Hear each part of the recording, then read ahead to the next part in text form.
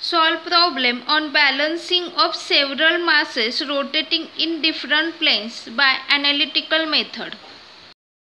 Given question A shaft carries four masses A, B, C and D of magnitude 200 kg, 300 kg, 400 kg and 200 kg respectively and revolving at radii 80 mm, 70 mm, 60 mm and 80 mm in planes measured from A at 300 mm, 400 mm and 700 mm. The angles between the cranks measured anticlockwise are A to B 45, B to C 70 degree and C to D 120 degree. The balancing masses are to be in planes X and Y. Distance between planes A and X is 100 mm, between X and Y is 400 mm and between Y and D is 200 mm. If balancing masses revolve at radius of 100 mm, find their magnitude and angular positions.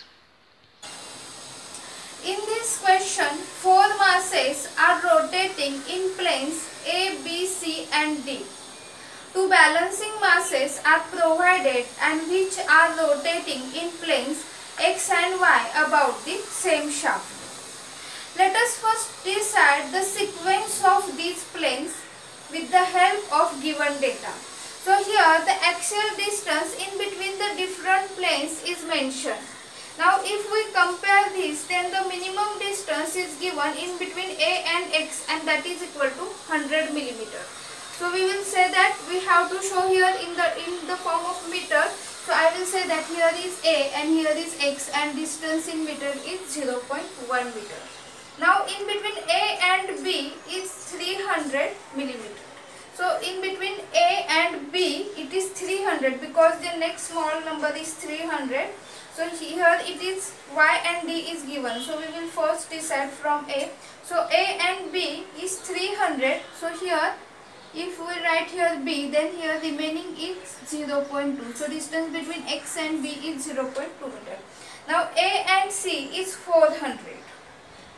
So in between x and y it is 400 millimeter. That is also mentioned. Now a and c is 400. So here is 0.2 plus 0.1 that is 0.3. So here at 0.1 here is the plane c.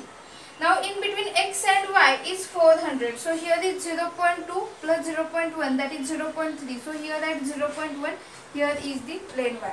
Now a and d it is 700. So if we compare this 1 plus 2 that is 3, 4, 5. So here the remaining is 2 that is 0.2. So here is the plane d. Now if we observe in between x and y, here total distance is 400 millimeter or we can say 0.4 meter. And in between a and b it is uh, 300 millimeter. A and c we will cross check. A and c it is 400 and a and d so this total distance is 700 that is 0.7 so 2 plus 1 that is 3 4 5 6 7 so this is the sequence so as per this sequence, we will mention here the planes that is the first column A, then X, B, C, Y and D. Now we will move to the angle theta. So here theta, angle theta of B with respect to A is mentioned in the question. So we will assume that theta A is equal to 0. So this is our assumption. Assume theta A is equal to 0. So I will show here this angle for A. Then angle for B. So with respect to A it is given 45 degree. So here this is the angle for B. Now angle in between B and C is given 70 degree. So from B it is 70 degree. That means we have to show here the angle for C. So this is 70 degree. This is 45 degree. But in question we have to mention the total angle from A that is 70 plus 45. That is uh, here we have to mention here 115 degree. Now for the D it is mentioned that is in between this C and D it is mentioned that is 120 degree. So here again we have to show this that is this is the angle for D that is one after C it is 120 degree. So again we have to mention this total angle. Now we will fill up this table from the given data. Now for this plane A, mass is mentioned 200. For plane X, for balancing mass is not provided and we have to find out this mx. Then the balancing mass of Y is not given so we have to find out my. So these two terms that we have to find out. Now the radius of rotation for each mass, balancing mass as well as these four masses is mentioned and we have to mention this in meter, in terms of meter. Then angle theta. So for A it is 0 degree, for B it is 45 degree, for C 45 plus 70 that is 115 degree and for D it is 115 plus 120 that is 235. Now for x it is not mentioned so uh, we have to find out theta x and we have to also find out theta y. Now force. So centrifugal force is mr omega square but omega that is the angular velocity is constant for all these masses. So we will consider here F is equal to m into r. So we have to multiply these two columns. So here 0.1 mx and here 0.1 my and these two terms we have to find out. Now we will find out horizontal component as well as vertical component. So for horizontal component f cos theta, so f 16 cos 0. Then here 0.1 mx cos of theta x. So here we have to multiply this a 21 cos of 45, 24 cos of 115 and here 0.1 my cos of theta 1 and here also we have to find out the term. Now FV, m sin theta. So FV is F that is uh, 16 into sine of 0. Now in the same way uh, FV is equal to F into sine of theta x that is 0.1 mx sine of theta x. Now here also we have to multiply this instead of cos we have to take sine then you here 0.1 my sine of theta y. Now we will move next that is the distance of the different planes from the reference plane. Now how to decide the reference plane? So if we observe these terms then the value for, for the plane x are unknown that is mx theta x then the value for plane y is also unknown my and theta y. So we have two options to decide the reference plane. So we will consider here x as a reference plane and we have to mention in this way. That is reference plane we will decide this x. So this diagram is for understanding purpose. We are going to solve this question by using analytical method. So this diagram is not necessary but this is for understanding purpose and here is the reference plane. Now the distance from reference plane. So what is the distance of A? So from this reference plane there are two directions. So from the left hand side direction values are negative. So here minus 0.1. Now for x it is 0. For b it is towards the right hand side. So we have to consider plus or positive value 0.2. Then for c. So from the reference plane 0.2 plus 0.1 that is 0.3. Then for y it is 0.2 plus 0.1 plus 0.1 that is 0.4 and for D it is total distance is 0.6. Now CH so that is the couple so we have to find out the horizontal component as well as vertical component of the couple. So here CH that is FHL so we have to take multiplication for this column and this column. 16 into minus 0 0.1 minus 1.6 then this term into 0 that is 0 then we have to multiply these two terms.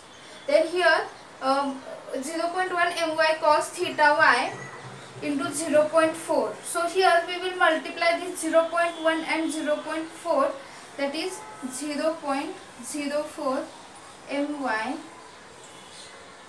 cos of theta y now we will move next CV.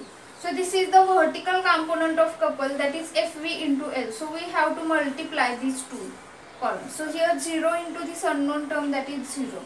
So here also 0 0.1 into 0 0.4 that is 0 0.04 my sine of theta y. Now next step we have to show summation of fh is equal to 0, summation of fv is equal to 0, summation of ch is equal to 0 and summation of cv is equal to 0 to find the unknown terms. Now if we compare this value for f as well as this couple c then in centrifugal force there are two unknown terms but for this couple there is only one unknown term. So we will first show summation of CH is equal to 0 and summation of CV is equal to 0. So when we show summation of CH is equal to 0 then we have to take the unknown term on the left hand side and we have to move all the known terms to the right hand side.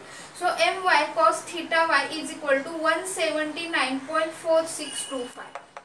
Now in the same way summation of CV is equal to 0. So we have to take a known term on the left hand side and we have to transfer the known term to the right hand side. So my sine of theta y is equal to minus 40.795. Now if we compare these two values then this cos value is having positive sign and this sine value is having negative sign. Now we will understand with the help of four quadrants. Now if we consider this first quadrant, then here all the values are positive to the right hand side. In the upward direction also, values are positive. To the left hand side, here the values are negative and in the downward direction, values are negative. Now, this horizontal line indicates the values for cos theta and vertical line indicates the values for sin theta. Now here, sin theta is having negative sign. That means we have to consider this downward side vertical line and cos theta is having positive sign. So we will consider this right hand side. So this theta is in the fourth quadrant. So we have to take this theta that when we find out then that is in the fourth quadrant. Now when we solve this we will take the ratio sin theta y by cos theta y. So this my my is getting cancelled. So when we take the ratio then we will get tan theta y is equal to minus 0.2273. So theta y is equal to minus 12.8067. Now it is having minus sign.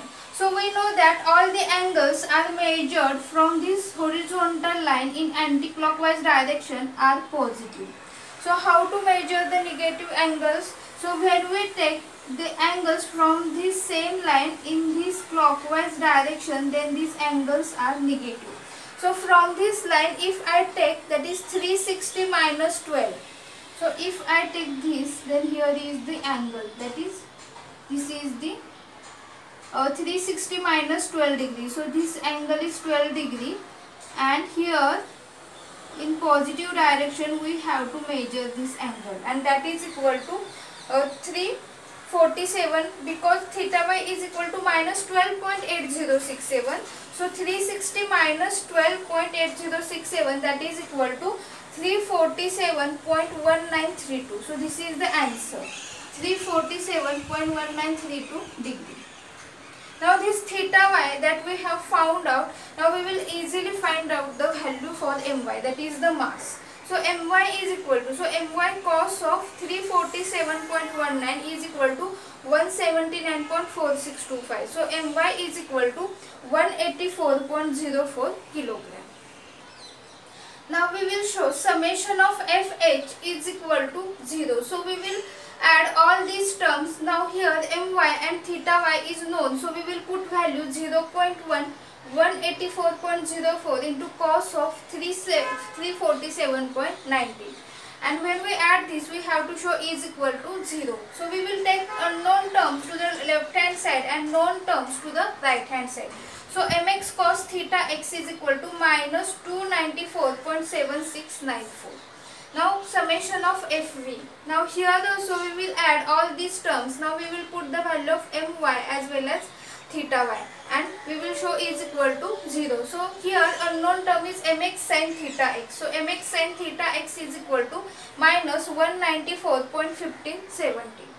Now if we compare this then we will take the ratio for sin theta x as well as cos theta x. So this mx mx is getting cancelled. So sin theta x by cos theta x is equal to minus 194.1517 divided by minus 294.7694. So when we take ratio then we will get tan theta x is equal to 0.6586 and therefore theta x is equal to 33.3711 degree. Now if we observe this quadrant rule is not applicable for this force. So that is applicable for the couple only.